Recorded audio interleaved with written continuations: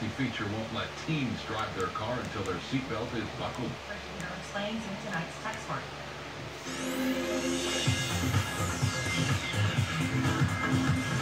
For many of us, it's the first thing we do when we get into the car.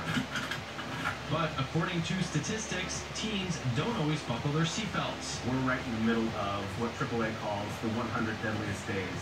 And it's where there's an increase of about 15% of teen driver fatalities because they're not wearing their seatbelt. Now, a new feature from Chevrolet hopes to help.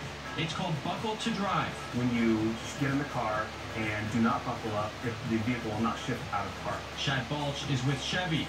He's showing me the feature, which is standard on the new 2020 Traverse, one of the first cars in their lineup to get it. When we sell as many vehicles as we do, when you're able to add a technology that can reduce crash, injury, fatality by just a little percent, it makes a big difference. Let's see how it works. Oh, normally I put on my seatbelt. This time I won't. So I'll turn on the car.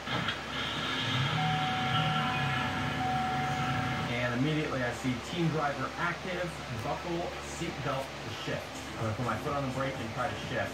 And it's not letting me. The feature also mutes the radio until seatbelts are buckled, and that includes the passenger too. This reminder is very simple. It just makes it annoying for them to try and drive the vehicle without buckling up. The feature part of a bigger teen safety suite Chevy introduced in 2015, which allows parents to set a maximum radio volume, speed warnings, and more. It's a great reminder because there's no music.